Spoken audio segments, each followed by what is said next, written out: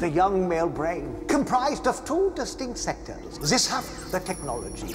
This half, the pleasure center. Obsessed with getting your noodle in the shoulder. For two days, G4 brings you gadgets and girls. January 11th, go inside the Consumer Electronics Show and see the future of tech. Then on January 12th, stimulate those pleasure centers at the Adult Entertainment Expo. G4 presents CES and AEE, January 11th and 12th. Balance your brain with G4.